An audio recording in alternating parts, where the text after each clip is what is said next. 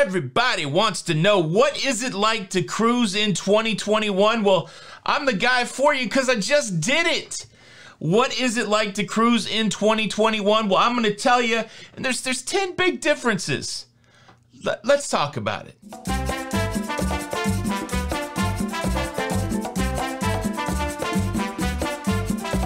Hey, hey, hey, what's up, everybody? Welcome back to La Lido Loca. I'm your host, Tony, here to really break it down, uh, to give you the inside scoop on what it's like to cruise in 2021. And, and the reason I know this information is I just did it. A uh, little over 24 hours ago, I was sitting in the Windjammer buffet on Adventure of the Seas, having lox and bagels, and now I'm back home to, to break it all down. It's just that quick. All right, it's a list of 10 with a bonus number 11. Before we jump into it, let me say this is just the beginning of my coverage of my cruise on Adventure of the Seas. So if you want to stay caught up with everything that I did and all of the inside scoop, please consider subscribing with the notification bell on. That way you don't miss out on any of these episodes. I'm going to do it in chronological order. The first thing that was very different on this cruise from any other cruise that I've been on is I checked in at a hotel the British Colonial Hilton. There was no cruise terminal for the check in process. I went from the hotel that I stayed at, the Warwick Resort, and I took a cab over to the British Colonial Hotel, and my whole cruise check in process occurred at that hotel. After I checked in at the hotel and went through all of the process of the check in, then I got on a bus, on a shuttle bus, and they dropped me off right in front of the cruise ship. So that was a huge difference. Checking in at the hotel and really arriving to the cruise ship by shuttle bus. That was a big difference. That's probably Bahamas specific. Big difference number two was the pre-cruise COVID test. Before I could even leave the British Colonial Hilton, I had to go through the swab process. Now, what I didn't know is there's a couple kind of swab processes. There's a deep cavity swab, and then there's like a lower nose swab. And uh, this was uh, somewhere in between. It was very painless. It wasn't like they shoved something all the way up into my brain brain. But yes, uh, this was something that was completely different than any cruise I'd ever been on before. I had to get a COVID test before I could even get on the cruise ship. Big difference number three is that my checked bag, my checked suitcase, got sanitized somewhere along the way. Now, I think it's a difference. I don't know that they're always sanitizing the luggage. Maybe that's part of the process. But uh, this time, when they sanitized my luggage, they put a sticker on the top of it saying that my luggage had been sanitized. Now, I didn't know that I was going to include it in a list, and so unfortunately, I peeled the sticker off my luggage. I wish I could have showed it to you, but trust me, it was a white sticker. It had some red lettering on it. it says your luggage has been sanitized. Number four, a big difference on this cruise opposed to any other cruise that I've been on before is there was limited capacity. I knew there would be limited capacity, but I wasn't sure how much. There's still some estimate. I don't know if there's an official uh, like reporting how many people are on board, but uh, the the consensus is it was somewhere around a thousand, and this ship holds three thousand, so it's about a thirty percent capacity, and it was definitely noticeable on the cruise ship. It was super not crowded on the cruise ship, and so uh, I for one enjoyed it. But yes, the the big difference this cruise from any other cruise I've been on, limited capacity. Number five, and this was a big difference I didn't really expect at all. There was no gangway. Uh, we've talked in the past about the build up to the cruise, that, that moment that you snake your way up the gangway and finally cross the threshold into the cruise ship was going to be momentous. Well, here in Nassau, there was no gangway. There was just, it was like we'd stopped in Nassau for a port day and you just went up that little ramp and you went right in the cruise ship.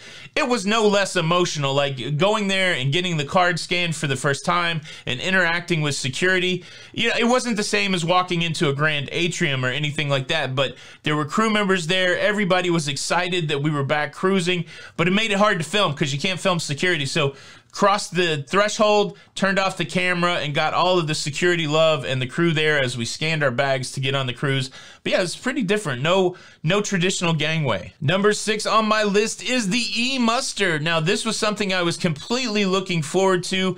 Uh, a muster drill like no other. It was very interesting how it worked. You pulled up the muster app on your phone, the safety app. You had to watch a series of videos and get the little tick mark that you had completed those videos, and then you presented yourself at the muster station with your completed checklist for the final check. They scanned your card, and that was it, lickety split. Now the challenge for me is my I, I, it didn't work. I watched the little video, and then when I went to you know certify that I watched the video, I would get an error. And so my muster experience was different than some people whose the app did work.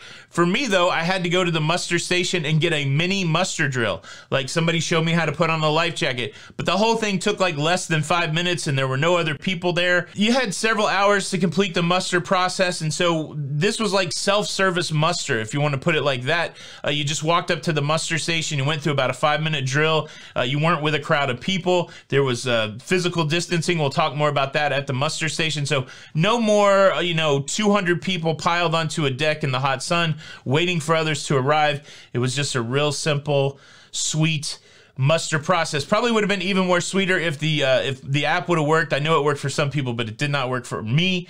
Uh, but yeah, a pretty cool e-muster process. Number seven, physical distancing. This was probably the most noticeable thing on the cruise ship. There was a lot of opportunities on the interior for physical distancing. The theater, for example, they would only let you sit two by two, and then the next two seats would have a reserve sign on it. Uh, the lines, all the queuing lines had uh, markers on the floor for physical distancing. In the casino, every other slot machine would be open. Get the craps table, for example, you can normally get like 16 people at a craps table, eight people on each side of the craps table.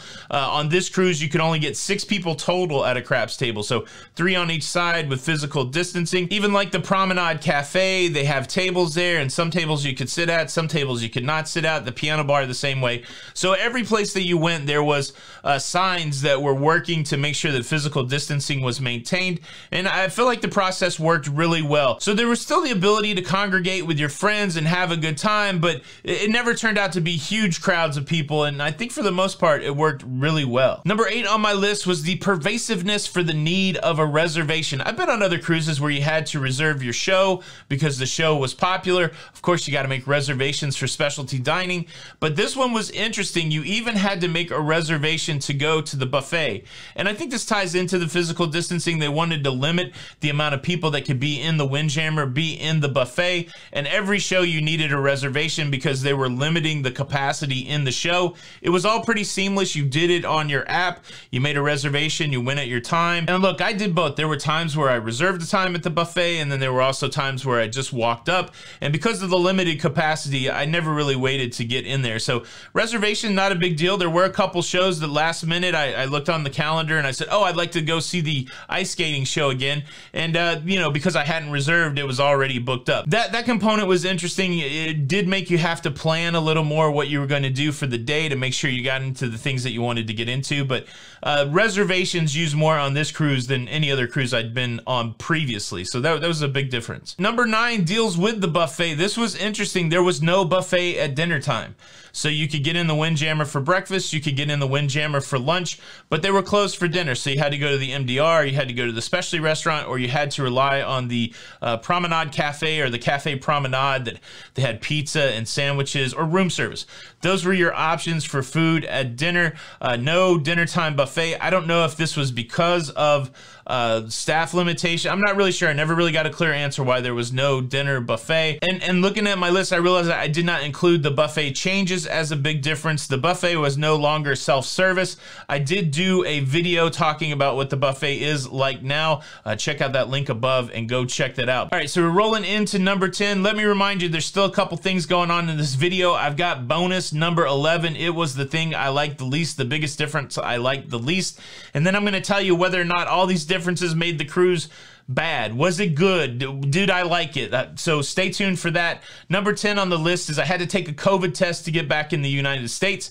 That's a regulation from the U.S. government. Uh, the cruise line's very accommodating on that. They give you the test for free on the cruise ship. And of course, I'm sitting here, so you know the result of the test. Again, that was not a very deep nasal swab. It was actually just on the inside cavity of the lower nose, which was kind of cool. Uh, very easy, very uh, quick.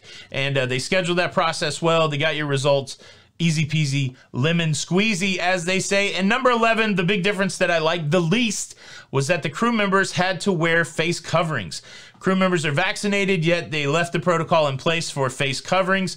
It was a little bit of a challenge. I'm used to listening to people talking in face coverings, so I didn't have any trouble with that. But of course, you like to see their faces. The cool thing that Royal did is they had a little button that would actually show your face, and it said, uh, "This is what I look like. This is the smile under the mask." That was a cool aspect of it. Uh, this little button, and uh, that way you could kind of see what the person looked like under the mask. I like this difference at least because I would have liked to seen all of the crew who were super excited to be back. So it leaves us with the big question: Was this cruise good? Yes.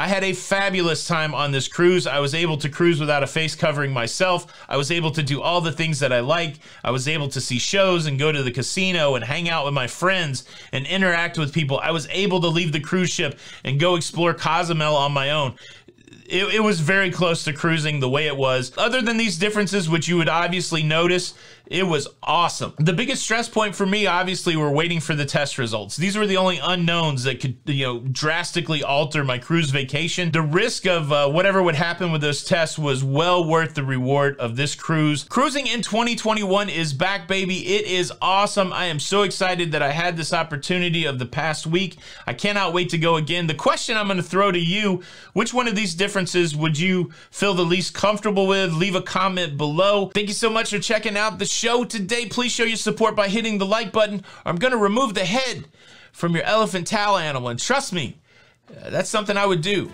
This is Tony for La Lido Loca. And until the next time, we'll see you on the Lido. For reals. Bye.